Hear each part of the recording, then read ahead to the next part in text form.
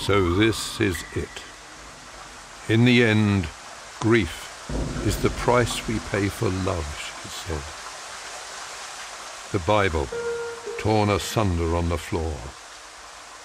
Her many words of prayer gone unanswered, just like his words of affection.